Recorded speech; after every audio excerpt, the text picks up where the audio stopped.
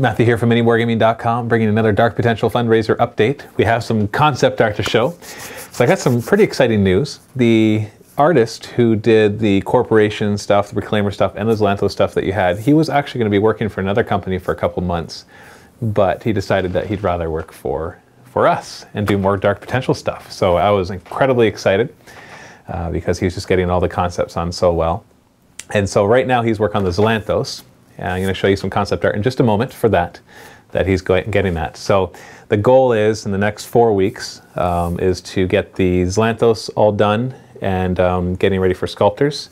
In fact, hopefully some of the stuff will already be being sculpted by the end of those four weeks. Uh, my goal is basically by the end of next week to have all the X'Lanthos concept art done for the starter set. Then we had a poll that said, should we do corporation or reclaimers? And I'm going to talk about that in a second too. So first off, let's get to the stuff that you want to see, and that is the concept art for the X'Lanthos. So it's interesting, uh, kind of the approach that we've been doing here. First off, I had him do some weapons, just some really basic concepts. you can see them right here while I talk.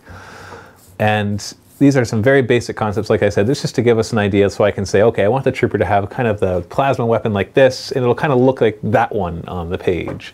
And that way I had something I could tell him rather than just try to explain to him. So um, he came up with all these designs, and I really like them. And we're not going to use them all. We're probably going to modify them all a lot too. So it's just to give the basic look and feel.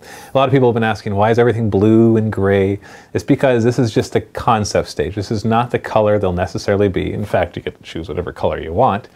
But uh, like the reclaimers being all gray and black and white and the corporation being all that way, that's just because we haven't got to the illustrative part yet. So we're still in the conceptual stage. Anyway, so here's a bunch of different weapons, and then you've already seen the X'Lanthos concept art from last week, and so we, I told them a couple things that I liked, and basically said, okay, now it's time to develop the commander. I've decided that the starter set for these X'Lanthos is going to have one commander who will have a nice plasma rifle and some cool dark energy, dark matter, dark potential, fun grenades or devices that do things.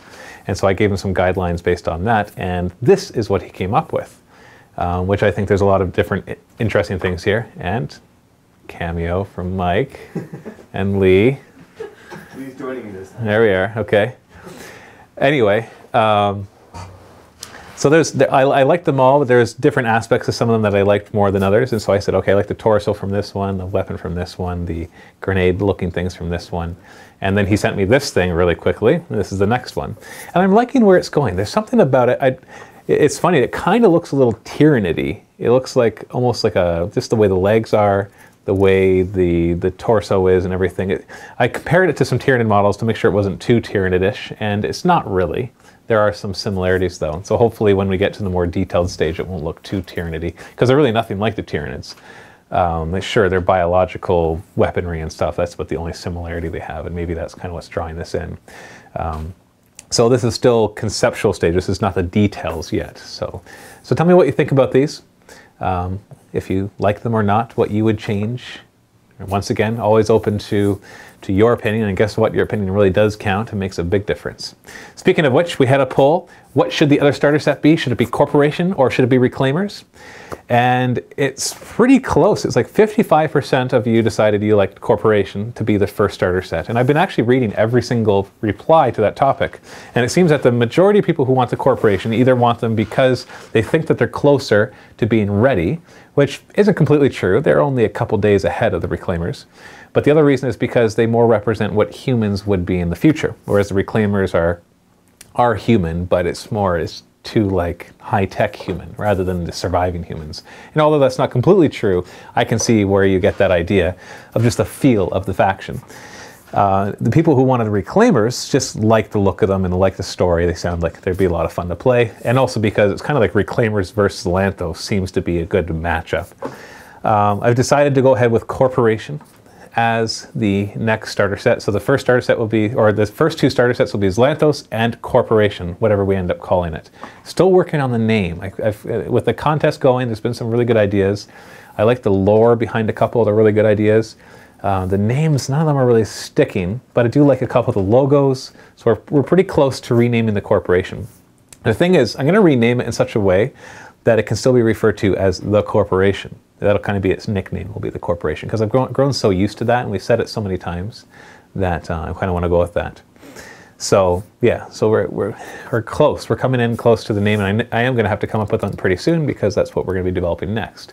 So you can expect concept art wise over the next week and a half to see more of this Lanthos. That'll be our main focus. And then once that is done, that'll be sent off to the sculptors, and they're ready to get working on the corporation. I'm thinking for the starter set for the corporation, it's going to be a commander and a squad of five guys as usual, and then I think the solo is going to be a sniper in this case. Uh, what did I say what it was going to be for this Lanthos? Yeah, I didn't really, did I? I just stopped with the commander. The commander is what we're working on right now.